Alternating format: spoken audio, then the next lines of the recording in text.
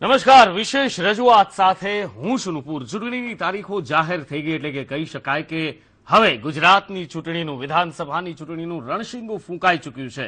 આજ બાબતે ચર્ચા કરવી છે ને આજે ચર્ચા કરવી છે પાંચ મુદ્દાઓને લઈને. જેમાં ચૂંટણીની તારીખો જાહેર કરવામાં આવી છે અને આ ચૂંટણીની જાહેર ઉપર શાસક વિપક્ષ જે છે એ આમને સામને આવી ગયા છે. સાથે જીતના દાવાઓ બંને પક્ષો કરી રહ્યા છે.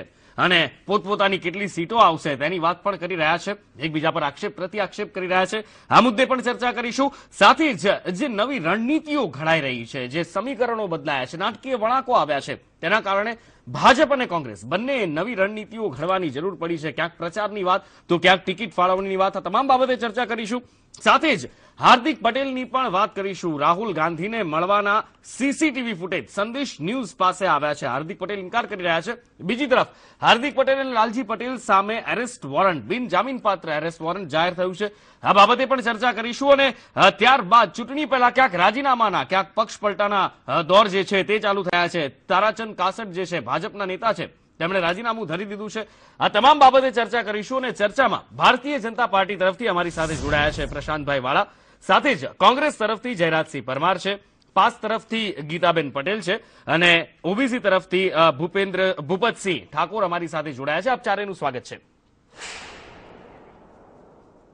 ચર્ચાની શરૂઆત કરીએ તે પહેલા કેટલાક મહત્વના મુદ્દાઓ ઉપર એક નજર કરી લઈએ. ચૂંટણીની તારીખો આજે જાહેર થઈ ગઈ અને બીજી તરફ તારીખો ઉપર જે રાજકારણ છે તે ગરમાયું છે. ગુજરાતના રાજકારણમાં શું નવા વળાંક આવ્યા છે? કોનું પલડું નમે છે? અને કોનું પલડું પડી રહ્યું છે નબળું? આવો એક નજર કરીએ.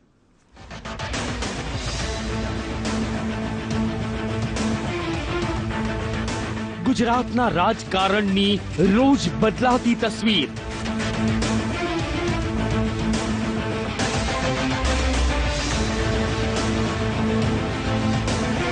મોડી મોડી પણ થઈ ચૂંટણીની તારીખોની જાહેરાત The date of polling would be 9th December 2017, which would be Saturday. And date of polling would be 14th December 17, which would be Thursday. મોડી જાહેરાત પર ફરી ગરમાયું રાજકારણ फ्लड से नुकसान हुआ है और अब वो अचानक ही सब ठीक हो गए तो लोगों में ये हंसी के पात्र बने ये बात कही है કે બને એટલી વહેલી આચારસંહિતા લાગે એ એમનો ઈરાદો હતો માટે આક્ષેપ કરે છે तो इसका मतलब ये हुआ कि गुजरात की भारतीय जनता पार्टी की सरकार पूरी तरह से विफल रही ये नेचुरल कैलेमिटी को सुधारने के लिए लोगों का काम करने के लिए ચૂંટણીને આવકારું છું હું આ તારીખોને આવકારું છું એટલે માટે એક ઐતિહાસિક ઘડી હું આજના દિવસને ગણું છું સરકારના દબાણ અને લોલીપોપ પર ફરી પ્રહાર એ તારીખો એમને ત્યારે જાહેર કરવાની હતી પણ સરકારના દબાવમાં આવી અને એમને બજારમાં લોલીપોપો વેચવી હતી સરકારને હવે થઈ રહ્યા છે તૈયારી અને જીતના દાવા તેનો મતલબ દોઢસો પ્લસ ભારતીય જનતા પાર્ટીને સીટો મળશે જ બધા સર્વે ખૂબ સારા આવી રહ્યા છે मजबूती के साथ में कांग्रेस चुनाव मैदान में उतर रही है और 22 साल की कोशिश अंत होगा સત્તા પલટો અને પુનઃ સત્તા પર આમને સામને स्वाभाविक रूप से एक गुस्सा है गुजरात की जनता में भारतीय जनता पार्टी के प्रति 22 सालों का राज हो गया उसके बावजूद भी स्थिति धीरे धीरे बिगड़ते बिगड़ते इस माहौल तक आ गई है कि गुजरात की जनता त्रस्त हो गई है ગમે એની સાથે મિટિંગો કરીને ગમે એટલી ટિકિટો આપવાના પ્રોમિસો કરે કોઈ બલ્કમાં ટિકિટો કોઈ અન્ય પ્રલોભનો કોઈ અન્ય બાબતો મને એવું લાગે છે કે કોંગ્રેસ પોતે એમને વિશ્વાસ નથી. વિકાસ અને જાતિવાદની રાજનીતિનું યુદ્ધ. ભારતીય જનતા પાર્ટી વિકાસના મુદ્દા ઉપર જ ચૂંટણીમાં જવાની છે. ન જ્ઞાતિવાદ ન જાતિવાદ ન ધર્મના ઝઘડાઓ. સિર્ફ સબકા સાથ સબકા વિકાસ સૌનો સાથ સૌનો વિકાસ. કોંગ્રેસ ઉતારશે ગુજરાતમાં નેતાઓની ફોજ.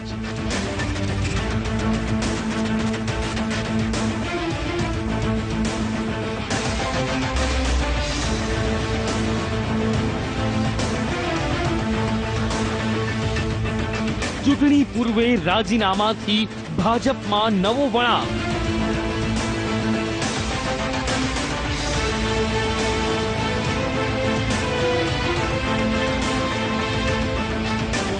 બીજી તરફ હોર્સ ટ્રેડિંગના મુદ્દે કોર્ટમાં ગુહાર.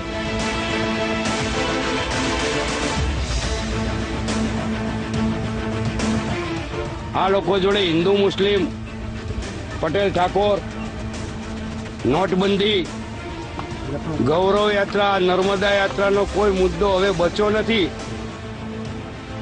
તો હાર્દિક પટેલ પર ગરમાયું રાજકારણ.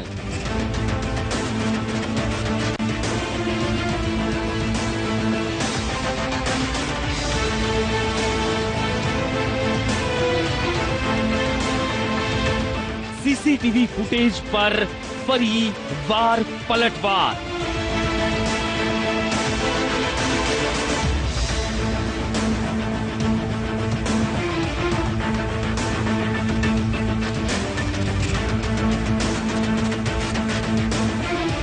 હું કહું છું કે નથી મળ્યો આવનારા દિવસમાં ચોક્કસ મળવાનો છું. કે ત્યારે હાર્દિક પટેલ તરફથી તો મને વધારે દુઃખ એટલા માટે છે કે સમાજને ગુમરાહ કરી અને કોંગ્રેસમાં ધકેલી રહ્યા છે. હું એવું કહું છું કે મળવું હોય તો સંતાઈને મળવાની જરૂર નથી. અને આ કોંગ્રેસના જુઠ્ઠાણાનો પર્દાફાશ થઈ રહ્યો છે. રાહુલ ગાંધી સાથે મુલાકાત થઈ નથી. અમે સ્પષ્ટ કીધું છે ને જે સીસીટીવી કેમેરા જ આવ્યા છે એમાં જે વ્યક્તિ તમે રાહુલ ગાંધી બતાવી રહ્યા છો એ સંતોષ કરીને રાહુલ ગાંધીનો પીએસ છે. સત્તા સંગ્રામ. ઇલેક્શનની તારીખોની જાહેરાત થઈ ચૂકી છે નવ અને ચૌદ એમ બે તબક્કામાં ડિસેમ્બર મહિનામાં આ ચૂંટણી યોજાવાની છે અઢાર તારીખે પરિણામ છે ત્યારે ચૂંટણીની તારીખો જાહેર થતાં જ શાસક અને વિપક્ષ બંને એકબીજા પર આક્ષેપ પ્રતિ આક્ષેપ કરી રહ્યા છે કોણે શું કહ્યું આવો જોઈએ हंस रहे हैं जो आर्ग्यूमेंट स्टेट गवर्नमेंट ने दिए हैं इलेक्शन की घोषणा को पोस्टपोन करने के लिए कि वहाँ सड़कें टूटी हुई है फ्लड से नुकसान हुआ है और अब वो अचानक ही सब ठीक हो गए तो लोगों में ये हंसी के पात्र बने इन्होंने बात कही है ગુજરાતમાં કોંગ્રેસના લોકોએ નખાઈ હતી આ વખતે એમના ઈરાદા હતા કે ત્રણ મહિના સુધી પ્રજાના કામો ન થાય પ્રજા દુખી થાય પ્રજા હેરાન થાય અને એમાંથી રાજકીય રોટલા શેકવા કે બને એટલી વહેલી આચારસંહિતા લાગે એ એમનો ઈરાદો હતો માટે આક્ષેપ કરે છે. કોંગ્રેસ પાસે કોઈ મુદ્દા નથી, પ્રજાલક્ષી, માટે આ બધું નકારાત્મક પ્રશાંતભાઈ, આપનાથી જ આ ચર્ચાની શરૂઆત કરવા માંગીશું શાસક પક્ષ તરીકે અને એ જાણવા માંગીશું કોંગ્રેસ આક્ષેપો કરી રહી છે કે જાહેરાતોની ભરમાર કરવા માટે ગુજરાતની જનતાને લલચાવવા માટે આ ચૂંટણીની તારીખો પાછી ઠેલવામાં આવી, એટલે કે જાહેરાતની તારીખ જે છે તે પાછી ઠેલવામાં આવી ને જાહેરાત મોડી થઈ. શું સ્પષ્ટતા આપશો આપ? લોકશાહીમાં ચૂંટણી એ સૌથી મોટું પર્વ ગણાય છે અને ગુજરાતની જનતાએ પાંચ વર્ષ માટે ભારતીય જનતા પાર્ટીને મેન્ડેટ આપેલો હોય. એટલે પાંચ વર્ષ જ્યારે પૂરા થાય, ત્યારે કાયદાકીય રીતે સુપ્રીમ કોર્ટની ગાઈડલાઈન પ્રમાણે જે નિયત મર્યાદામાં ચૂંટણી પંચે જાહેરાત કરવી જોઈએ, જાહેરનામું બહાર પડવું, પાડવું જોઈએ, એ મર્યાદામાં રહી અને જાહેરનામું બહાર પાડેલું છે. પણ કોંગ્રેસને આજે જે કાંઈ છે એ બધું પેલા કાળા ચશ્મા પહેરેલા હોય એવું લાગે છે. એટલે ફક્ત આક્ષેપો કરવા, જૂઠું બોલવું, જૂઠાણા ફેલાવવા આ કોંગ્રેસની વર્ષોથી નીતિ રીતિ રહી છે. પરંતુ ઉલટાનું પ્રજાના કામ ન થાય. જો વહેલી આચારસંહિતા લાગે, ત્રણ મહિના કે ચાર મહિના પહેલેથી જો આચારસંહિતા લગાવવામાં આવે, તો પ્રજા દુઃખી થાય, પ્રજાના કામ ન થાય અને ખોટી રીતે પ્રજાને ઉશ્કેરવાનો કોંગ્રેસ પ્રયાસ કરે. એટલે કે ચૂંટણીની તારીખોમાં પણ કોંગ્રેસની મેલી રાજનીતિ બિલકુલ દેખાઈ આવે છે. બીજી વાત હું કરું કે આજે જ્યારે ચૂંટણીની તારીખોની ઘોષણા થઈ ગઈ છે, તો હવે કોંગ્રેસને શા માટે ભય લાગે છે ભાઈ? દર પાંચ વર્ષે ઇલેક્શન આવે, આજે નહીં તો કાલે ચૂંટણીની જાહેરાત તો થવાની જ હતી, વહેલી કે મોડી. પણ એનાથી કોંગ્રેસ શા માટે ગભરાય છે? કોંગ્રેસને મોત આવવાનું હતું, આજે કે કાલે એ તો આવવાનું જ છે. પણ કોંગ્રેસ ગભરાય છે કારણ કે આજે આખા ગુજરાતમાંથી કોંગ્રેસ વિખેરાઈ ગઈ છે, કોંગ્રેસ નેસ્ત નાબૂદ થઈ ગઈ છે. તમે યાદ કરો, કોંગ્રેસના પ્રમુખે જાહેરાત કરી હતી કે અમે એક વર્ષ પહેલા અમારા ઉમેદવારોની યાદી ડિક્લેર કરી દેશું. આજે ચૂંટણીની તારીખ ડિક્લેર થઈ ગઈ, છતાં પણ હજી એ લોકો ઉમેદવાર ડિક્લેર નથી કરી શક્યા. ઉલટાની વાસ્તવિકતા, જમીની વાસ્તવિકતા એવી છે કે કોંગ્રેસને ચૂંટણીમાં ઊભા રાખવા માટે ઉમેદવારો મળતા નથી. ઉલટાનું જેમ જેમ ચૂંટણી નજીક આવે છે એમ કોંગ્રેસ તૂટી રહી છે. કોંગ્રેસના ચૌદ ચૌદ ધારાસભ્યો કોંગ્રેસ છોડીને જતા રહ્યા છે. આવી પરિસ્થિતિમાં કોંગ્રેસ મુકાઈ ગઈ છે. એટલા માટે કોંગ્રેસ ચૂંટણીને ઠાલવવા માગે છે કે જેમ મોડી થાય એમ વધારે સારું. આ એક એની મેલી મુરાદ સામે આવી ગઈ છે. પરંતુ કોંગ્રેસના પણ પ્રવક્તા મારી સાથે છે તો હું કહીશ કે મહેરબાની કરીને કોઈ પણ માધ્યમો દ્વારા જૂઠાણા ન ફેલાવો ખોટા આક્ષેપો ન કરો કારણ કે ગુજરાતની અને દેશની જનતા તમને ઓળખી ગઈ છે જાણી ગઈ છે. બે હજાર ચૌદ લોકસભાની ચૂંટણીમાં આખા દેશની જનતાએ કોંગ્રેસના જે હાલ કર્યા હતા કે સંસદમાં કોંગ્રેસ વિપક્ષને પણ લાયક ન રહે. ઘણા બધા આક્ષેપો લાગ્યા ઘણા બધા આક્ષેપો લાગ્યા. શું જવાબ આપશો? અને એવી જ રીતે બે હજાર સત્તર વિધાનસભાની ચૂંટણીમાં પણ પાર્ટીના પ્રવક્તા ભાઈ ભાઈ ભાઈ શ્રી પ્રશાંતભાઈ એ ધર્મગુરુ હોય એમ લોકોને કથાનો બોધ આપી રહ્યા છે કે આમ નહીં કરતા તેમ નહીં કરતા. અરે ભાઈ તમારે ભારતીય જનતા પાર્ટીની જ વાત કરો તમારી દુકાનની ચિંતા કરો અત્યારે તમારે તળિયું કાળો થઈ ગયું છે. તમારા લોકો તમારા ગાલ ઉપર દસ દસ લાખ રૂપિયા તમારા પાછા ફેંકી રહ્યા છે. તમારે આખી ચૂંટણી અત્યારે નરેન્દ્રભાઈ અને અમિતભાઈ નિષ્ફળ ગયા છે. વડોદરામાં અમારો રોડ શો કર્યો નિષ્ફળ ગયો છે. અને વરુણ અને રેશમાના સહારે ચૂંટણી જીતવા નીકળ્યા છો. તમને શરમ આવી જોઈએ શરમ. કે કા ખરીદેલા લોકોના માથા ઉપર મારી તમે ચૂંટણી જીતવા નીકળ્યા છો. તમારી પાસે એક પણ માણસ નથી. જવાબદાર વસ્તુની વાત કાઉન્ટર કરવા માટે તમારી પાસે માણસ નથી. ભારતીય જનતા પાર્ટીનો કોઈ નેતા નથી. કે તમે વારે ઘડીએ રેશમા પટેલ અને વરુણ પટેલ ધક્કા મારી મારી મીડિયાની સામે મોકલો છો. તમારી પાસે કોઈ એવો જવાબદાર આગેવાન છે કે નહીં ભાઈ? કે તમે જે જુઠ્ઠાણા ફેલાવો છો, કોંગ્રેસના ઉમેદવારની ચિંતા તમે શું કામ કરો છો ભાઈ? અરે મારે કરિયાણાનો સ્ટોર છે મારે સાબુ રાખવા, ચણા વેચવા કે સિંગ વેચવી મને નક્કી કરો તો ભાઈ. તમે શું કામ નક્કી કરો છો? મારી દુકાનમાં શું વેચવું એટલે મહેરબાની કરી ભારતીય જનતા પાર્ટી ને જે કામ છે, એના ફંક્શન ઉપર ધ્યાન આપો. તમે અત્યારે તમે એટલે તમે વિચાર તો કરો. ચૂંટણીની અંદર તમારી નીતિઓને તમે દિવસમાં ત્રણ ત્રણ વાર તમારા નાયબ મુખ્યમંત્રી શ્રીના લોલીપોપના વિતરણના જાહેર કાર્યક્રમો રાખવા પડે. નાયબ મુખ્યમંત્રી બગીચામાં ટેબલ લઈ અને પ્રેસ કોન્ફરન્સો કરવી પડે છે. ગાડીમાં માઇક રાખતા લાગતો છે એવું લાગે છે. નીતિનભાઈ જાણે ગાડીને પોતાની ગાડીમાં માઇક લઈ ફરતા હોય અને પ્રેસ જી જી શું કહેશો પ્રશાંતભાઈ? જી. લોલીપોપના વિતરણ કરો છો ભાઈ. તમારો 22 વર્ષનું શાસન જી પ્રશાંતભાઈ શું શું જવાબ આપશો આપ? શું કાઉન્ટર કરશો જયરાજભાઈ ની ભાષામાં જયરાજ જયરાજ, જયરાજભાઈની ભાષામાં જ તમને કોંગ્રેસની હારની હતાશા સ્પષ્ટ દેખાઈ આવે છે કે કોંગ્રેસ ચૂંટણી પહેલા જ હાર ભાડી ગઈ છે. આજે જે કઈ પ્રજાલક્ષી જાહેરાતો છે, પ્રજાએ અમને પાંચ વર્ષનો મેન્ડેટ આપ્યો છે, એટલે કે શાસનના છેલ્લા દિવસ સુધી છેલ્લી ક્ષણ સુધી પ્રજાકીય કાર્યો કરવા એ અમારી ફરજ છે અને જેવી ચૂંટણી પૂરી થશે જાન્યુઆરીમાં ફરીથી ભાજપની સરકાર બનશે તો પણ પહેલા દિવસથી ફરીથી અમે પ્રજાલક્ષી નિર્ણયો લેશું પ્રજાલક્ષી કાર્યો કરશું કારણ કે એના માટે જ ગુજરાતની સાડા છ કરોડ જનતાએ ભારતીય જનતા પાર્ટી ઉપર ભરોસો મૂકેલો છે. પરંતુ આ જયરાજભાઈની ભાષામાં એના એની હારની હતાશા સ્પષ્ટ દેખાઈ આવે છે કારણ કે ચૂંટણી આવે પહેલા કોંગ્રેસ વેર વિખેર થઈ ગઈ છે. કોંગ્રેસના ધારાસભ્યો કોંગ્રેસ છોડીને જતા રહ્યા છે. આવી પરિસ્થિતિમાં કોંગ્રેસ મુકાઈ ગઈ છે. બીજી વાત હું તમને કહું કે કોંગ્રેસે પોતાના સ્લોગનમાં જ એની હાર સ્વીકારી લીધી છે. હમણાં થોડા સમય પહેલા જ કોંગ્રેસે એક સ્લોગન ડિક્લેર કર્યું કે ભાઈ ખુશ રહે ગુજરાત. એનો મતલબ કે ભાજપાના શાસનમાં ખુશ રહે ગુજરાત. છેલ્લા બાવીસ વર્ષથી ભારતીય જનતા પાર્ટીના શાસનમાં વિકાસલક્ષી રાજનીતિ નીતિઓથી આજે ગુજરાત છે વિકાસની નવી ઊંચાઈઓ પર પહોંચ્યું છે. ત્યારે બે હજાર ને સત્તરમાં ફરીથી ગુજરાતની જનતાનો જનાદેશ ભાજપા સાથે જ રહેશે. કોંગ્રેસ ગમે તેટલા જૂઠાણા ફેલાવે, એની કોઈ અસર થવાની નથી. ગઈ શરમ તમે કોંગ્રેસને ભાડવા સિવાય કઈ કામ જ નથી કરતા? તમારા સિવાય બીજો કોઈ વ્યવસાય છે કે નહીં? તમે પ્રજા વચ્ચે જઈ શકતા નથી. તમે લોકો વચ્ચે જઈ શકતા નથી. તો તમે ખાલી ખાલી કોંગ્રેસને ગાળો દઈ અને વરુણ રેશમાના સહારે ચૂંટણી જીતવા માંગો છો. આખી ચૂંટણી વરુણ અને રેશમાના સહારે જીતવાનો છો ભાઈ. તમે નક્કી તો કરો યાર. તમારી કઈ નીતિ હોય, તમારા આટલા બધા નેતાઓ હોય બિલકુલ બિલકુલ બિલકુલ. એક એક એક એક એક જી જી ચોક્કસથી. પણ અહીંયા સવાલ સવાલ એ થાય છે કે ચૂંટણીની તારીખો વહેલી જાહેર થાય ચૂંટણીની તારીખો મોડી જાહેર થાય આક્ષેપ પ્રત્યાક્ષેપ થઈ રહ્યા છે. પણ સવાલ એ છે કે બંને પક્ષો કેટલા તૈયાર? જયરાજસિંહજી કેટલા તૈયાર કોંગ્રેસ તરફથી આપ? ચાલુ કરીને ચારસો સિત્તેરની કલમ હોય. જયરાજસિંહજી જયરાજસિંહ જયરાજસિંહ. જયરાજસિંહ ચૂંટણી માટે કોંગ્રેસ કેટલી તૈયાર? ભારતીય જનતા પાર્ટી. જયરાજસિંહ કોંગ્રેસ કેટલી તૈયાર ચૂંટણી માટે? લાગે છે કોંગ્રેસ તૈયાર નથી ઝેરાતસિંહ જવાબ નથી આપી રહ્યા. ઝેરાતસિંહ ભારતીય જનતા પાર્ટીએ ભારતીય જનતા પાર્ટીને પૂછીશું પ્રશાંતભાઈ ભારતીય જનતા પાર્ટી કેટલી તૈયાર ચૂંટણી માટે? ભારતીય જનતા પાર્ટી હર હંમેશ ચૂંટણી માટે સજ્જ હોય છે, કારણ કે ભારતીય જનતા પાર્ટી એ સંગઠનના આધારે, કાર્યકર્તાના આધારે કામ કરતી પોલિટિકલ પાર્ટી છે, એટલે અમે હર હંમેશ ચૂંટણી માટે સજ્જ હોઈએ છીએ.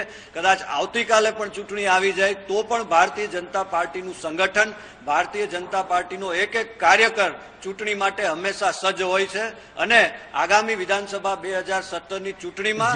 ગુજરાતની જનતાના આશીર્વાદથી ગુજરાતની જનતાના અમારા ઉપર મૂકેલા ભરોસાથી અમે એકસો પચાસ કરતા વધુ બેઠકો એકસો પચાસ પ્લસ નો નિર્ધાર છે. જયરાજસિંહજી કોંગ્રેસ કેટલી તૈયાર ગુજરાતની જનતાનો ભારતીય જનતા પાર્ટી ઉપર આશીર્વાદ છે જી જયરાજસિંહજી. કોંગ્રેસની કેવી તૈયારી જી પ્રશાંતભાઈ જયરાજસિંહજી આપ જણાવશો પૂછો કે એકસો પચાસ સીટ તમે ક્યાંથી લાવવાના છો? એકસો પચાસ સીટ તો વાત દૂર રહી. આગળથી એકલો નીકળી જવાનો છે ને પાછળથી મીંડું નીકળી જવાનું છે. એ પ્રશાંતભાઈ ભૂલી ગયા છે. ડિસેમ્બરે બતાવશું. જયરાજભાઈ અઢારમી ડિસેમ્બરે જયારે રિઝલ્ટ આવે ને ત્યારે તમે જોઈ લેજો. અઢારમી ડિસેમ્બરે તમને ખ્યાલ આવી જશે કે એકસો પચાસ સીટ ક્યાંથી આવી? પ્રજા વચ્ચે જઈ શકતા નથી. ભૂપતભાઈ એમને સમજાવો. ગીતાબેન એમને સમજાવો કે એકસો પચાસ સીટ ક્યાંથી લાવવાના છે? એ તો પૂછો એમને. એમની જોડે કોઈ આંકડો નથી. પાટીદાર સમાજમાં પગ મૂકવાની જગ્યા નથી. જી જી જી. જીતના જીતના દાવા જે છે આ જીતના દાવા ઉપર આગળ ચર્ચા કરીશું. એકસો પચાસ સીટ ક્યાંથી આવશે? કોંગ્રેસની સવાસો સીટો ક્યાંથી આવશે? પાટીદાર સમાજ શું ભૂમિકા ભજાવશે? ઓબીસી સમાજ તો સ્વાભાવિક રીતે કોંગ્રેસની અંદર છે તો તેમની ભૂમિકા કઈ રીતની હશે? અલ્પેશ ઠાકોર અને તેમના સહયોગીઓની આ તમામ બાબતે ચર્ચા કરીશું. એક બ્રેક બાદ.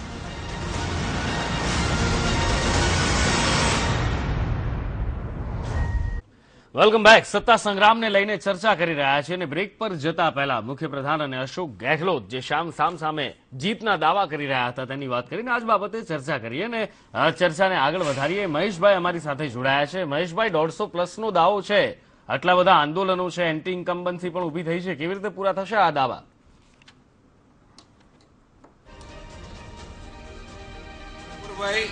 એટલા બધા આંદોલનો, એટલે આપણો કહેવાનો અર્થ શું છે મને સમજાતું નથી. ગુજરાતની અંદર ક્યાંય આંદોલન નથી. જે કોઈ આંદોલન હતા એ રાજકીય પ્રેરિત હતા. મહેશભાઈ પાટીદાર અનામત આંદોલન. મહેશભાઈ પાટીદાર અનામત આંદોલન ચાલી રહ્યું છે તમને ધ્યાન ના હોય તો. અત્યારે પાટીદાર અનામત આંદોલન બિલકુલ નથી. પાટીદાર ગીતાબેન પાટીદાર અનામત આંદોલન એનું એનું શું ધ્યેય હતું? એનો શું ઈરાદો હતો? એ બધું જ આજે ખુલ્લું પડી ગયું કશું ખુલ્લું પાટીદાર નથી પડ્યું મહેશભાઈ. એક- એક વખતે એમનું ધ્યેય પાટીદાર મહેશભાઈ કચ્છું ખુલ્લું નથી પડ્યું. હજુ પાટીદાર અનામત આંદોલન હજુ આંદોલન ચાલુ છે. હજુ હાર્દિકભાઈ સભાઓ કરી રહ્યા છે. હજુ હાર્દિકભાઈ રેલીઓ તમારા કરી રહ્યા પાટીદાર છે. સમાજના જે આગેવાનો છે એ કોંગ્રેસ પાસેથી કઈ અનામત લઈ આવ્યા? અને તમે કોંગ્રેસ ભાજપે કઈ આપી ભાજપે અમને બેરોજગારી માટે ભાજપ જોડે મુદ્દો લઈને ગયા. કરો કે તમે અમે તમારી કઈ તિજોરીમાંથી રાઈટ માટે ઓબીસી પાટીદાર સમાજને અનામત આપો છો એનું ક્લેરિફિકેશન તમારે કરવાની જરૂર છે. લોકસભા ઇલેક્શનમાં તમારા લોકો શાના કારણે છુપી રીતે કોંગ્રેસને મળવું પડે છે. પછી તરત તમે પાછી ગુજરાતની અંદર દરેક સમાજ આંદોલન કરી રહ્યું છે.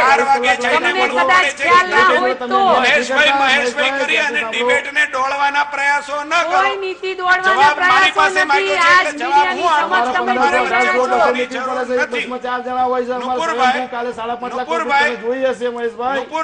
જે પ્રકારની અંદર ગુજરાતની રાજનીતિમાં ખાસ કરીને જે પ્રકારના મીડિયાના સર્વેક્ષણો જે પ્રકારે અત્યારે આવે છે એ ભારતીય જનતા પાર્ટીના સર્વેક્ષણો નથી. ઈ ગઈકાલે વીટીવી ઓકે મીડિયાના સર્વેક્ષણ જે આવે છે મીડિયાના સર્વેક્ષણ જે આવે છે જે અનુમાન જે તારણ આવે છે તેનાથી આપણે વાકેફ છીએ. જયરાજસિંહજી શું કહેશો? આ ભારતીય જનતા પાર્ટીને બહુમતી તેમાં દેખાડવામાં આવી છે. સવાસોનો દાવો કોંગ્રેસ પણ કરી ચૂકી છે. કેવી રીતે પૂરો થશે? ભારતીય જનતા પાર્ટીને ચૂંટણીની અંદર મહેશભાઈ જયરાજસિંહનો જવાબ લઈ લઈએ. જી જયરાજસિંહ. ભારતીય જનતા પાર્ટી જાતીય જનતા પાર્ટીને એમની વાત કરો, તો તમે સોનાના, જો કોંગ્રેસની વાત કરો, તો તમે પિત્તળના થઈ જાઓ છો. એમની હવે વાત કરો. ગીતાબેનને કહો વચ્ચે બોલે હમણાં ગીતાબેન બોલતા હતા ગીતાબેન ગીતાબેન મારી વચ્ચે બોલતા હતા. હવે તમારામાં હિંમત શા માટે કન્વીનરો ખરીદો છો જયરાજસિંહનો જયરાજભાઈ, જયરાજ ખરીદ વેચાણનો ધંધો બંધ ગીતાબેન ગીતાબેન ગીતાબેન. મહેશભાઈ મહેશભાઈ, જી ગીતાબેન business બંધ સાંભળી લઈએ જયરાજસિંહનો જવાબ સાંભળી લઈએ. મહેશભાઈ. તમે એમની સાથે બેસેલા મહેશભાઈ જયરાજસિંહ જયારે આપ બોલતા હતા ત્યારે એમની વચ્ચે નથી આવ્યા ગીતાબેન પ્લીઝ જયરાજસિંહ નૈતિકતા જવાબ સાંભળી લઈએ. બાવીસ આ શકો. ઇતિહાસ કોંગ્રેસ કઈ રીતે બદલશે? જયરાજસિંહ આપ જણાવશો.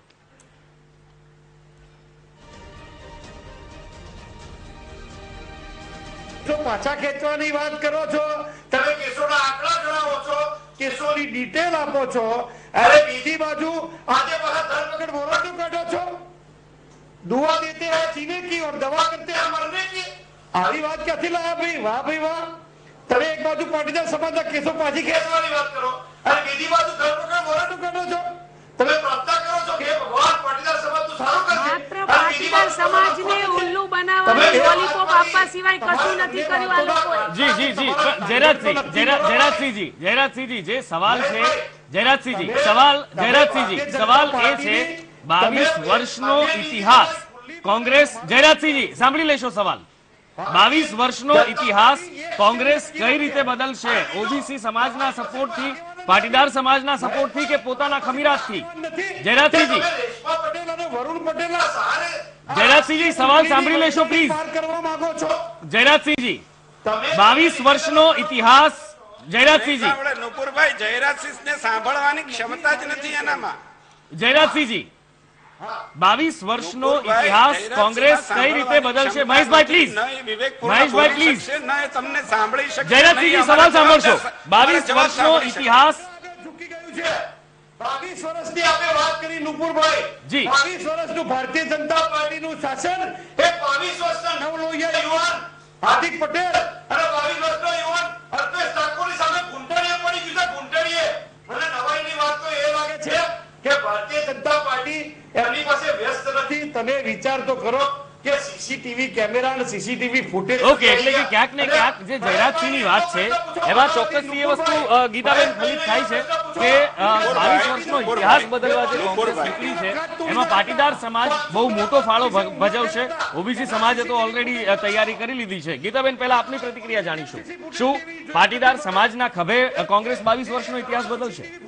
પાટીદાર સમાજના જે અનામત આંદોલનની માંગ છે કે પાટીદાર સમાજને બંધારણીય અનામત આપો. જો પાટીદાર સમાજને બંધારણીય અનામતની જાહેરાત કોંગ્રેસ કરશે તો પાટીદાર સમાજ ચોક્કસ કોઈ પણ પક્ષનો સાથ સહકાર લેશે. ભાજપને હરાવવું એ ચોક્કસ વાત છે. ભાજપને પસાડવી છે એ ચોક્કસ વાત છે.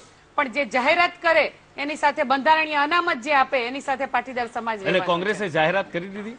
કોંગ્રેસે જાહેરાત નથી કરી. અચ્છા બંધારણીય એટલે કઈ રીતની અનામત આપ માંગી રહ્યા છો? બંધારણીય અનામત એટલે ઓબીસી કોટામાં માંગી રહ્યા છો કે કઈ રીતની જરા સ્પષ્ટ કરશો? અનામત અમે સત્યાવીસ ટકાની છેડછાડ કર્યા વગર બંધારણીય અનામત અમે માંગી રહ્યા નુપુરભાઈ. ઓકે. નુપુરભાઈ. જી મહેશભાઈ. નુપુરભાઈ. નુપુરભાઈ. નુ- નુપુરભાઈ મારે ગીતાબેનને એ પ્રશ્ન પૂછવો છે કે કેવી રીતે બંધારણીય અનામત મળી શકે? બંધારણનો ઉલ્લેખ કર્યો છે ત્યારે તો દેશના બંધારણમાં સત્તામાં તમે બેઠા છો. તમે નક્કી કરો. અને શું? બીજું બીજું આપી શકાય. બીજું બીજું. સાંભળો બેન બેન સાંભળવાની ક્ષમતા રાખો આપવાની ગણતરી જ બેન આપ બહેન છો. હું વિનમ્ર ભાવે કહું છું. હજી પણ હું વિનમ્ર ભાવે શું સવાલ કરી રહ્યા છે આપને? સાંભળી લેશો આપને સવાલ પૂછી રહ્યા છે. આપ જવાબ આપજો. તમે ડિબેટમાં આવ્યા છો? આંદોલનમાં નથી આવ્યા ગીતાબેન? મહેશભાઈ, સવાલ પૂછો આવ્યા છો. તમારી પાસે માહિતી ન હોય કે બંધારણની રીતે આપી શકાય કે ન આપી શકાય. તો શાના માટે આપણે પ્રશ્ન ઉઠાવો છો? તમને કોંગ્રેસ પાસે એક પ્રશ્ન પૂછવાની તમારામાં હિંમત નથી કે કોંગ્રેસ કેવી રીતે ઓબીસી પણ અમારા પ્રશ્નો આપ્યા છે અને ભાજપને મારો સવાલ ક્યાં છે? ભાઈ આપી ચૂક્યા છે નુપુરભાઈ, બેન હવે તમે શાંત સમાજની ડિમાન્ડ અમે ભાજપને પહેલા આપી ચૂક્યા છે કહું છું અને કોંગ્રેસને પણ આપી છે. શાંતિથી બેસો, હું આપને એ જ પ્રશ્ન કરું છું. નુપુરભાઈ, મહેશભાઈ. નુપુરભાઈ, ખબર છે આંદોલનમાં ડિબેટમાં છીએ પણ તમે સાંભળવાની નુપુરભાઈ આ બેનને આ ને. ગીતાબેનને કશી જ ખબર નથી. બધી જ ખબર છે મહેશભાઈ. પણ તમે બોલવાનું બંધ કરો તો હું સાંભળવાનું કોકને સાંભળું ને? નથી.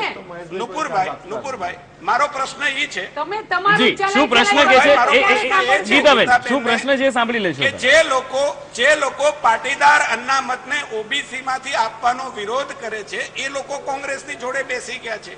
ફરી એક વખત નુપુરભાઈ કે જે લોકો પાટીદાર સમાજને બક્ષી પંચમાંથી અનામત આપવા માટેનો વિરોધ કરે છે એ કોંગ્રેસમાં છે. જે લોકો પાટીદાર સમાજને જોવાનું બક્ષી નથી, અનામત લેવાની વાત કરે છે એ કોંગ્રેસમાં છે. તો અમારે જયરાજસિંહને નથી તો એ જસ્ટિફાઈ કરે પેલા કે તમે અમારે નથી જોવાનું જે okay okay okay okay. Jayrajsinhji Jayrajsinhji પાસેથી જાણીએ. મહેશભાઈ મહેશભાઈ ગીતાબેન આ આ પ્રશ્નનો જવાબ જયરાજસિંહજી પાસેથી કોંગ્રેસ પાસેથી જાણીએ. ઘણી બધી આશા પાટીદાર સમાજ લગાવીને બેઠો છે કોંગ્રેસ પાસેથી. ભારતીય જનતા પાર્ટીએ તો જયરાજસિંહજી એકવાર જાહેરાત કરી દીધી. પણ પછી હા કઈ મેળ પડ્યો નહીં અને કોર્ટમાં મામલો પહોંચ્યો?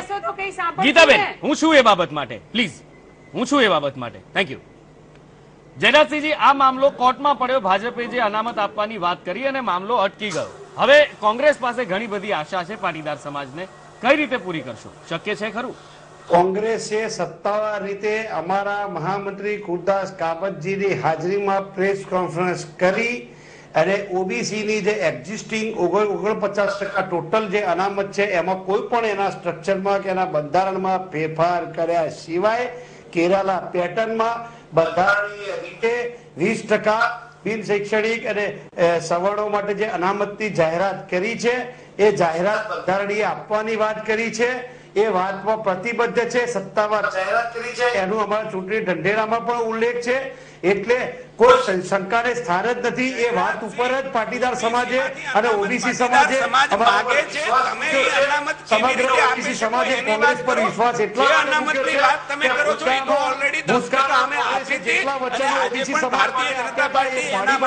અમે કોંગ્રેસે જે વચનો આપ્યા હતા, તમામ સુપ્રીમ કોર્ટની અંદર ન્યાયાધીન છે. એટલે કોંગ્રેસના હંમેશા બંધારણીય રીતે વર્તવામાં ક્યારેય કોઈએ શીખવાડવાની જરૂર નથી. કોંગ્રેસને આવડે છે. ઓકે કોંગ્રેસને કોંગ્રેસને બંધારણીય રીતે વર્તતા આવડે છે. ચલો કોંગ્રેસે જે ચૂંટણી ઢંઢેરો જાહેર કર્યો છે બની શકે કે કદાચ ચૂંટણીનું પરિણામ જો કોંગ્રેસની ફેવરમાં આવે તો પછી જોવાનું કે કેવી રીતે આપશે પણ અહીંયા મુદ્દો ચર્ચવો છે હાર્દિક વિશેનો. હાર્દિક વિશેના મુદ્દાની ચર્ચા કરવી છે. અને પ્રશાંતભાઈ આપને પૂછવા માંગીશું આ સવાલ કે હાર્દિક પટેલ જે છે વોરંટ જે જાહેર કરવામાં આવ્યું પહેલા એની એક વાત કરીએ કે વોરંટ જાહેર કરવામાં આવ્યું હાર્દિક પટેલ સામે. એક તરફ કેસ પાછા ખેંચવા, બીજી તરફ વોરંટ જાહેર કરવું, હાર્દિક પટેલ અને લાલજી પટેલ સામે. આ કઈ નીતિ આ સમજાયું નહીં? કે પછી ન્યાયપાલિકાના રખોપા આપશો? પહેલા તો એક વાતની આપને હું સ્પષ્ટતા કરી દઉં અને મીડિયાના માધ્યમથી હું જનતાને પણ એક વાતની સ્પષ્ટતા કરી દઉં કે લાલજીભાઈ અને હાર્દિક પર આજે જે વોરંટ ઇસ્યુ કરવામાં આવ્યું છે એ ધરપકડ વોરંટ નથી. એક ન્યાયિક પ્રક્રિયા છે કે સતત એના ઉપર વીસ નગરનો જે કેસ ચાલે છે એમાં સતત એની જે ગેરહાજરી છે એ ગેરહાજરીને લઈને નામદાર કોર્ટે એને કોર્ટમાં હાજર રહેવા માટે ફક્ત સમન્સ પાઠવેલું છે આ કોઈ ધરપકડ માટેનું સમન્સ નથી. અમારા આ દોરી તમે પેલા આખી વાત સમજો. તમે આ કોઈ આખો મુદ્દો સમજતા નથી. પેલા મારી વાત હજી પૂરી નથી થઈ. મારી વાત પૂરી થવા દો પછી તમે બોલો. પહેલા એ વાતની ચોખવટ કરો. પેલા મારી વાત પૂરી થવા દો પછી તમે બોલો. એ વાતની પેલા- ચોખવટ કરો. કહો છો કે કેસો પાછા ખેંચાઈ ગયા થવા દો. તો જી ગીતાબેન એની સ્પષ્ટતા સ્પષ્ટતા આપી રહ્યા છે. સાંભળી જી પ્રશાંતભાઈ. કેસો તમામ કેસો પાછા ખેંચાઈ ગયા છે. પરંતુ તો વોરંટ કેમ? જે એની સતત ગેરહાજરી હતી. એક પોલીસનું વોરંટ એક આખી જુદી બાબત છે. કોર્ટનું વોરંટ એ આખી જુદી બાબત છે. કોર્ટમાં એની જે સતત ગેરહાજરી હતી? હાજર રહેવા માટેનું એને સમન્સ પાઠવવામાં આવ્યું છે. આ કોઈ ન્યાયિક પ્રક્રિયાને તમે રાજકીય રંગ ના આપો અને હું કોંગ્રેસના મિત્રને પણ વિનંતી કરું છું કે આને રાજકીય રંગ ના આપો અને રાજકીય રંગ રીતે નહીં, આની સ્પષ્ટતા કરો. આની સ્પષ્ટતા કરો, પ્રક્રિયા છે એટલે. લોકોને ગેરમાર્ગે દોરવાનું કામ ન તમે કરો લોકોને ગેરમાર્ગે દોરી રહ્યા છો લોકોને તમે ગેરમાર્ગે ઓકે ક્યાંક ને ક્યાંક ગીતાબેન એક બેવડા વલણની આપે વાત કરી. હમણાં તો એક બેવડું વલણ હાર્દિક પટેલ તરફથી પાટીદાર સમાજ તરફથી પણ જોવા મળી રહ્યું છે. એક બાજુ હાર્દિક પટેલ ઇનકાર કરી રહ્યા છે રાહુલ ગાંધીને નથી મળતો ક્યાંક. ઇન્ટરવ્યુમાં એવું હાર્દિક પટેલ કહે છે કે મળે તો કોઈ આતંકવાદીને થોડી મળ્યો છું. અરે ભાઈ આતંકવાદીને નથી મળ્યા. સીસીટીવી ફૂટેજ તમારા સામે આવે છે કે તમે મળ્યા છો? તો પછી ખુલ્લી છાતીએ કેમ નથી કહેતા કે હા મળ્યું છું? એવી તો શું રણનીતિ ઘડાઈ રહી છે? સૌથી પહેલા હાર્દિકભાઈએ તમારા ચેનલ થ્રુ જ સ્પષ્ટતા કરી છે કે રાહુલ ગાંધીને મળ્યા નથી. અને એ અશોક અમારા ચેનલ ઉપર જ સીસીટીવી ફૂટેજ છે કે મળ્યા છે? તમારા ચેનલમાં એમને પોતે સ્પષ્ટતા કરી છે કે હું ભાઈ રાહુલ ગાંધીને મળ્યો નથી. હું અશોક ગેહલોતને મળ્યો છું. અને આ તો એક રાજકીય પ્રક્રિયા છે. આપણે ભાજપના નેતાઓને પણ મળતા હતા અને કદાચ મળ્યા હોય. જે અત્યારે નથી. અત્યારે જે સીસીટીવી ફૂટેજ આપ સ્ક્રીન ઉપર જે જોઈ રહ્યા છો. ક્યાંય રાહુલ ગાંધી તમને રાહુલ ગાંધી જે ફ્લોર ઉપર છે જે સમયે રાહુલ ગાંધી છે એ જ સમયે ત્યાં રહેવું એ જ સમયે ત્યાં એ જ ફ્લોર ઉપર જવું એ જ જગ્યા પર જવું અને કેવું કે હું નથી મળ્યો. તમને હાર્દિક ભાઈએ પણ કરી દીધી છે કે હું રાહુલ ગાંધીને નથી મળ્યો અને મળવા જઈશ તો મારી કોર કમિટી સાથે સવાલ સાંભળી લેશો એકવાર. ગીતાબેન સવાલ સાંભળી લેશો એકવાર. ગીતાબેન રાહુલ ગાંધી જે રૂમમાં રોકાયા જે જગ્યાએ તેઓ હતા જે સમયે તેઓ હતા એ જ સમયે એ જ ફ્લોર ઉપર એ જ રૂમમાં હાર્દિક પટેલનું જવું. આ સીસીટીવી ફૂટેજ એની સાક્ષી આપે છે. પણ તેમ છતાં હાર્દિક પટેલ અને પાસનું કહેવું કે હાર્દિક પટેલ નથી મળ્યા. તો પછી કોને મળ્યા અને કેમ? શું એ રૂમ ખાલી હતો કે પછી રાહુલ ગાંધી અંદરથી ગાયબ થઈ ગયા? શું સમજવું? આ તો બેવડું વલણ છે. એ એ તમારું સીસીટીવી ફૂટેજ બતાવે ને કે હાર રાહુલ ગાંધી ક્યાં છે? નહીં તો આ- વાત છુપાવવાની ક્યાં જરૂર છે? મળ્યા છે તો મળ્યા છે. જરૂર નથી. રાહુલ ગાંધીને જો હાર્દિકભાઈ મળતા હોય તો એમાં છુપાવવાની કોઈ જરૂર મહેશભાઈ, શું કહેશો આ બાબતે? કોઈ જરૂર બતાવે છે. શા માટે છુપાવવું જોઈએ? અમે અત્યારે પેલા ભાજપના નેતાઓને પણ મળ્યા છીએ વારંવાર ખ્યાલ નહીં હોય. અમારી માંગણીઓ લઈને અમે ગમે તે ગીતાબેનને ગીતાબેન, વચ્ચે અમે સાંભળ્યા. કેવી રીતે interrupt મ- કરી મહેશભાઈને શકાય એની ખબર જ નથી. નુપુરભાઈ ગીતાબેનને એ પણ ખબર નથી કે મહેશભાઈ બધી ખબર છે ગીતાબેન, એ શેના માટે આવે? પોલીસ સ્ટેશનેથી સમન્સ આવે એ શેના માટે આવે? ગીતાબેન માત્ર ડિબેટ ડિસ્ટર્બ કરવા માટે આવ્યા છે કે ખરેખર વાસ્તવિક ચર્ચા કરવા માટે આવ્યા છે? મને ખબર નથી પડતી. ગીતાબેન ગીતાબેન મારો તમને એક જ પ્રશ્ન છે. ગીતાબેન. તમે એની ચિંતા ગીતાબેન, સાંભળી આપને લેશો એક જ શું પ્રશ્ન કહી રહ્યા છે? પૂછું આપ કાઉન્ટર ગીતાબેન, કરી હું આપને એક જ પ્રશ્ન પૂછું છું કે તમે હમણાં એવું કહેતા હતા કે અમારું ધ્યેય સરકાર ઉથલાવવાનું છે તો આમાં અનામત મેળવવાનું ધ્યેય ક્યાં છે? તમારો મુખ્ય આશય હતો નથી બોલી કે અનામત માટેનો સરકાર ક્યાં ગયો? તમે કહેતા હતા હમણાં કે અમારે તો ભારતીય જનતા પાર્ટીને. પછાડી દેવાની છે. એનો મતલબ ગીતાબેન એ થયો તમે જ એડમિટ કરો છો કે અમે કોંગ્રેસના અમારા જે કરશો નહીં, હું કન્વીનરો છે બોલી જ નથી આ અમારા કન્વીનરો છે કોંગ્રેસના મહેશભાઈ, હું આ પીઠું છે. પ્રશ્ન હવે બોલી જ તમે તમે એવું એડમિટ કરો છો બેન. તમે એવું એડમિટ કરો છો કે અમે કોંગ્રેસ માટે લડીએ છીએ. કોંગ્રેસ માટે અમે પ્રોક્સી તમે કહો છો બેન અમે નથી કહેતા. તમે કીધું હમણાં. જાહેરાત બેન આ ટીવીના ચેનલના માધ્યમથી તમે કહ્યું કે અમે ભાજપને હરાવવા માટે જ કરીએ છીએ. તમે કહ્યું મેં નથી કહ્યું બેન. તમે કહ્યું બીજું હું તમને વારંવાર એ પ્રશ્ન કરું છું કે એટલી હિંમત રાખો. બેન એટલી હિંમત રાખો કે બાજુમાં કોંગ્રેસ કોંગ્રેસના પ્રવક્તા છે એને વિનમ્ર મારી સાથે તમે રૂઢ વર્તન કરશો. મને દુઃખ નહીં લાગે. બાજુમાં જે કોંગ્રેસના. પ્રવક્તા બેઠા છે એની સાથે વિનમ્રતાથી એટલું પૂછો કે તમે બંધારણીય રીતે અમને ઓબીસી માંથી કેવી રીતે અનામત આપશો? હાર્દિકભાઈની પક્ષનું કામ સાથે તમે કઈ અનામત આપી એની. અંદર શું મોકલ્યું? રાત્રે અમારું ચાર વાગે બેન સેના માટે હાર્દિકભાઈએ જવું પડે. કે આખી રાત સેના માટે હોટલ તાજ તાજની અંદર અનામત મળશે એ મને ખબર નથી. હું પાટીદારનો દીકરો છું પણ હોટલ સ્લીવનો તાજમાં અનામત રાખેલી છે. એના સરનામા અનામત ક્યાં રાખેલી છે? એના સરનામા અમને ખબર નહોતા. હોટલ તાજની અંદર રાહુલજીને નરેન્દ્રભાઈ રૂમમાં સાથે 224 મોકલો નંબરની કે આ રૂમમાં અનામત તિજોરીમાં હતી? એ પણ મને ખબર નથી. એટલા માટે શું ડીલ થઈ છે? તમારા જી, જી, જી, જી. ને બિલકુલ કદાચ કહી શકાય કે આ કદાચ જાદુઈ રૂમ હોય ક્યાંક કે શું થયું શું નહીં કોઈને ખબર ના પડી. વેલ બધી તરફથી વાતો તો થઈ રહી છે. બે બેધારી વાતો દરેક જગ્યાએ થઈ રહી છે. પછી એ કોઈ સમાજનું આંદોલન હોય કે પછી રાજકીય પક્ષો હોય, તમામ જગ્યાએથી ચૂંટણી નજીક છે. સ્વાભાવિક છે કે આવી બધી પ્રતિક્રિયાઓ અને આવી બધી ગતિવિધિઓ સહજ રીતે થતી હોય. પણ આગળ વાત કરવી છે, પક્ષ પલટાની અને સાથે જ રાજીનામાના દોરની. એ પહેલા રોકાઈશું એક બ્રેક માટે.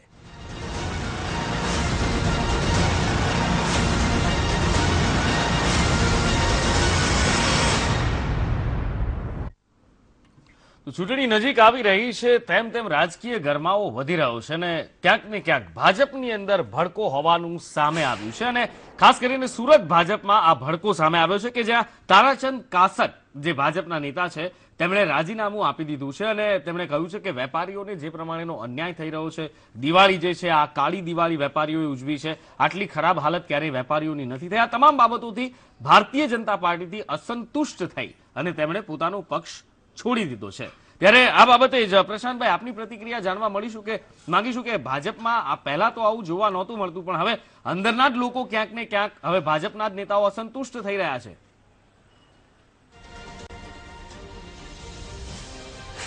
કોંગ્રેસમાંથી કોંગ્રેસમાંથી આજે રોજે રોજ સો દોઢસો બસો નહીં નહીં કોંગ્રેસમાં શું થાય છે? કોંગ્રેસમાં શું થાય છે એ એ હું જયરાજસિંહને પૂછી લઈશ પ્રશાંતભાઈ. કોંગ્રેસનું હું જયરાજસિંહને પૂછી લઈશ આપ ભાજપની વાત કરો આપ તારાચંદભાઈની વાત કરો. હવે ભાજપની જ વાત કરો. હવે તમારી બને પણ એની સામે આખી કોંગ્રેસ આજે નેસ્ત નાબૂદ થઈ ગઈ છે. કોંગ્રેસના નેતાએ રાજીનામું આપી દીધું. કોંગ્રેસના પ્રવક્તા કોંગ્રેસના દંડક સહિત કોંગ્રેસના ચૌદ ચૌદ ધારાસભ્યોએ રાજીનામું કોંગ્રેસ માટે જવાબ આપવા માટે જયરાજસિંહ મારી પાસે છે. હું જયરાજસિંહને પૂછી લઈશ. તમે તારાચંદભાઈની વાત કરો. રાજીનામા આપ્યા છે. એટલે કે એટલે રોજે રોજ પ્રશાંતભાઈ પાસે જવાબ નથી કે તારાચંદભાઈએ કેમ રાજીનામું આપ્યું, કેમ તેમને સંતુષ્ટ ન કરી શક્યા ભારતીય જનતા પાર્ટીના આગેવાનો. એમની પાસે જવાબ નથી. મહેશભાઈ, આપ જવાબ આપશો? બને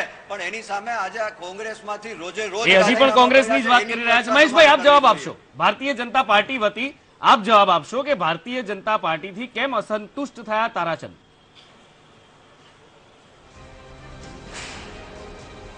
મને એમ લાગે છે કે નુકુર નુકુરભાઈ દરેક ચૂંટણીઓમાં આવી ઘટના દરેક રાજકીય પાર્ટીઓમાં બનતી હોય છે. ભાજપમાં આવું પહેલા નથી જોયું જનતા પાર્ટી એવી એક પાર્ટી છે કે અમારા ઘરે કોઈ કદાચ નારાજ અમારો કાર્ય નહીં નહીં દરેક ચૂંટણીમાં બન્યું છે. તમને કદાચ ખ્યાલ નહીં હોય નુપુરભાઈ મને તો ખ્યાલ છે આ પાર્ટીમાં મેં ઘણા વર્ષ કાઢી નાખ્યા છે. ચૂંટણી હોય કાર્યકર્તાને ક્યાંક અસંતોષ થયો હોય તો અમારું નેતૃત્વ એના માટે સક્ષમ છે. આજ સુધી કોઈ પણ કાર્યકર્તા અમારાથી નારાજ થઈને ચૂંટણી ઉપર પાછો ક્યાંય કોઈ પાર્ટીમાં ગયો નથી. સવાલ એટલો છે, જે પ્રકારે પ્રશાંતભાઈ કહેતા હતા કે કોંગ્રેસમાંથી ટોળા ને ટોળાઓ ભારતીય જનતા પાર્ટીમાં આવે છે. એક મુખ્યમંત્રી પદની લડાઈમાં એક બાજુ અહેમદ પટેલને મુખ્યમંત્રી બનવું નહીં કોંગ્રેસની વાત કોંગ્રેસની વાત આપણે જયરાજસિંહ પાસેથી કરીશું મહેશભાઈ. કોંગ્રેસની પ્રતિક્રિયા. જયરાજસિંહ પાસેથી લઈશું. પણ ક્યાંક ને ક્યાંક આ અસંતોષનું કારણ શું? વેપારીઓ નાખુશ છે તે વાત કરી છે તેમણે. આનું કારણ શું? આ જે પ્રમાણે નેતાઓ નીકળી રહ્યા છે. અમારા એક કંઈક મુશ્કેલી એને પડી હશે? મારી વાત સાંભળો. નુપુરભાઈ એક કાર્યકર્તાએ અમારા એ જીએસટી ના કારણે કંઈક એના મનની અંદર કોઈક વાત આવી હશે ને બહાર આપી હશે. તો એનાથી કોઈ આખી પાર્ટીને આવું થઈ ગયું છે એવું તમે જાણે આભ તૂટી પડ્યો. પહેલામાં આભ નતો તૂટી પડ્યો કે જ્યારે કચ્છની બનાસકાંઠાની અંદર આખું ઉત્તર ગુજરાત પાણીમાં ડૂબતું હતું અને ચૌદ ઓકે. ઓકે ઓકે એટલે કે ક્યાંક ને ક્યાંક જવાબ જવાબ જવાબ છે ક્યાંક કોંગ્રેસ ઉપર ઢોળવામાં આવે છે. પણ આવી એટલે કે ક્યાંક જી. જી જગતસિંહ જગતસિંહ જગતસિંહ. જી જગતસિંહ. હેલો જી ભૂપતસિંહ. ભૂપતસિંહ ઓકે. ઓકે બનાસકાંઠા ઉપર આપણે અત્યારે નથી જતા પણ ક્યાંક ને ક્યાંક જે આવી નાની નાની ઘટનાઓ બને રાખે આની અંદર આવા નાના નાના અસંતોષ તો ચાલે રાખે ક્યાંક એવું કહેવા માંગે છે. મહેશભાઈ, એવું લાગે છે. પણ નરેન્દ્ર પટેલની જો વાત કરવામાં આવે, નરેન્દ્ર પટેલે કોર્ટની અંદર હવે કેસ કરી દીધો છે આ બાબતે, જે દસ લાખ રૂપિયાને કથિત એક કરોડ રૂપિયાવાળો મામલો હતો. આ સમગ્ર મામલો કોર્ટની અંદર પહોંચી ચુક્યો છે. જીતુ વાઘાણી, ઋત્વિજ પટેલ, મોટા ગજાના નેતાઓના નામ છે. પ્રશાંતભાઈ, શું કહેશો?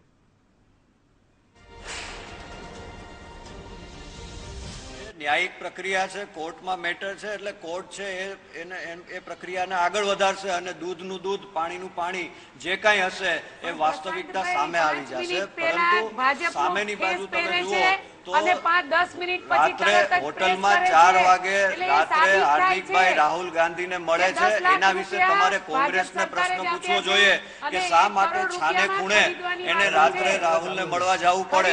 એ ભાઈ ત્યાંથી રાતના બે વાગે સુટકેસો લઈને નીકળ્યા તો એ સુટકેસોમાં શું હતું? એનો જવાબ એનો જવાબ કોંગ્રેસે આપવો જોઈએ? તો એનો જવાબ તમે માગો માંગો. પ્રશાંતભાઈ અનસિક્યુરિટી ફીલ થાય છે ખરીદ વેચાણનું એટલે તમે ચાલુ કરી દીધું છે. રેશમાબેન ને વરુણભાઈ ને ખરીદવાનું પણ તમે ચાલુ કર્યું છે. અને ચૌદ ચૌદ જી છેલ્લે જી જી જી જી જી જી. સમયનો અભાવ છેલ્લે છેલ્લે જી જયરાજસિંહજી શું પ્રતિક્રિયા આપવા માંગો છો? જયરાજસિંહની વાત એકવાર સાંભળી લઈએ. જી. રીતે નુપુરભાઈ સામાન્ય રીતે એવી છાપ હોય છે કે ભાઈ શક્તિસિંહ ગોહિલ કોણ આ કે કોંગ્રેસના વિજયભાઈ રૂપાણી કોણ આ કે કોંગ્રેસના મહેશભાઈ કસવાલા કોણ આ કોંગ્રેસના એવી રીતે જે વાત પૈસા દેશની અંદર